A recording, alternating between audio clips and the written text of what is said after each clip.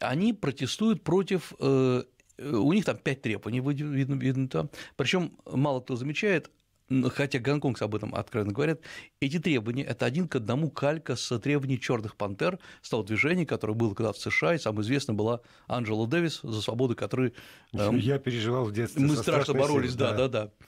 Э, Черные пантеры были, конечно, еще той организацией, надо сказать, э, и по сути было, это была анархистская организация, которая, э, с одной стороны, говорила, что сильная свобода превыше всего, и те же самые требования, что любые арестованные протестующие, если они протестуют за свободу, за свои права, они должны быть отпущены, если они там никого не убили.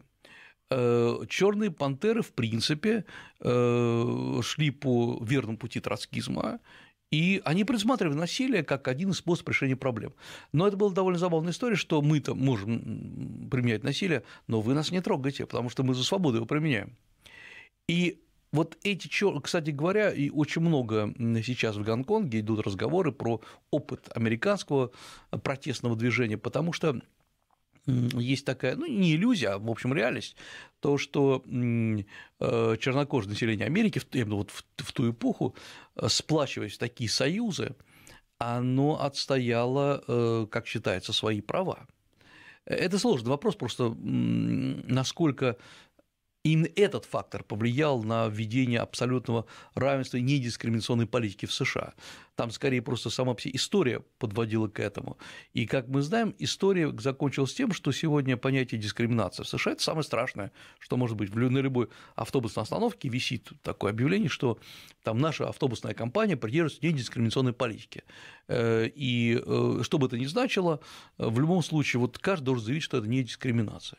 Эм, вот э, как ни странно, вот этот э, опыт борьбы за недискриминационную политику американскую, он переносится в том числе и на Гонконг. Довольно интересная история в том плане, что откуда... Да, да, ну простите, а, как ты, а в чем дискриминация в Гонконге? Э, по отношению, то есть Гонконг должен, как утверждается, пользоваться э, абсолютно демократическими правами, не меньшими, чем во всех других странах мира это довольно интересно, они не могут себя сравнивать с КНР, потому что КНРовцы пользуются меньшими правами, строго говоря.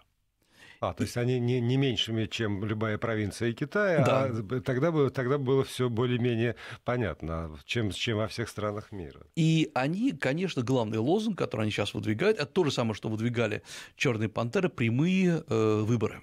Я думаю, что в США прямых выборов нет, там через выборщиков идет. Здесь в Гонконге тоже через выборщиков. И эм, э, выборщики, как считается, назначаются властями КНР, на самом деле они тоже выбираются, э, и поэтому, мол, невозможно осуществить свои демократические права. Здесь э, вот я просто сравнил как-то требования, которые двигали черные пантеры в США и гонконговцы, они, про, это, они скопированы, это не то, что они похожи, они скопированы один к одному. И это довольно интересно, потому что вообще черные пантеры такая вещь не очень. Это локальная история э, в США. Они сыграли большую роль, конечно, в истории США, но э, не так, чтобы в Азии их опыт кто-то знал, изучал, это только специалисты знают. И вдруг это проявляется. Что, как говорится, намекает.